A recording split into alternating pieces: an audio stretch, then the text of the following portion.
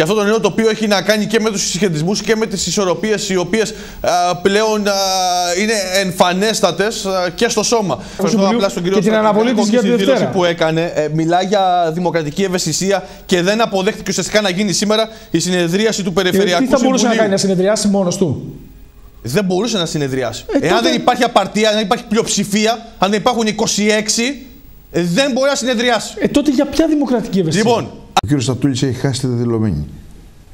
Ο κύριος Στατούλης, όσο και αν ε, εγώ να πω σέβομαι τον ε, οπωσδήποτε και το θεσμό του, όπως πρέπει να το κάνει κάποιος, ε, κάθε δημοκρατικός πολίτης, το θεσμό της ε, περιφέρειας, το θεσμό του Προέδρου του Περιφερειακού Συμβουλίου, ο κ. Στρατηγάκος τον έχει ξεφτυλίσει το θεσμό αυτό. Διότι αυτά τα πράγματα που είπε σήμερα για δημοκρατικές αυτές και αυτά, αυτά τα πράγματα γελάει όλος ο κόσμος. Γελάει όλος ο κόσμος βλέποντας ένα στρατηγάκο, ένα πρόεδρο μάλλον Περιφερειακού ε, ε, Συμβουλίου, μια μαριονέτα πραγματικά, ο οποίος μιλάει για δημοκρατικές ευαισθησίες στη στιγμή που ανεβοκατέβαζε όπως είπε στη Διάβια για, τα, για, το, για τη Μαραθούπολη, ανεβοκατεβάζαν στη Διάβια για τις αναθέσεις στην τηλεόραση, αυτά τα πράγματα τα οποία για την τηλεοπτική κάλυψη ναι.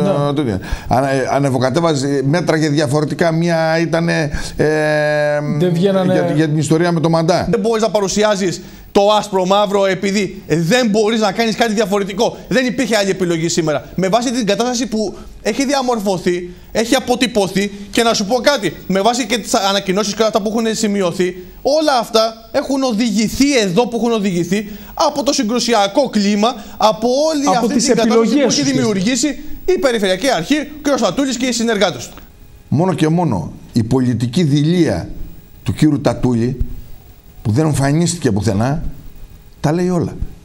Ήταν απλώς για να του δείξουν τα ότι οι μέρες της κυδαιμονίας του, οι μέρες του τατουλονισίου, όπως λέει η κυρία Παπαδοπούλου, έχουν τελειώσει.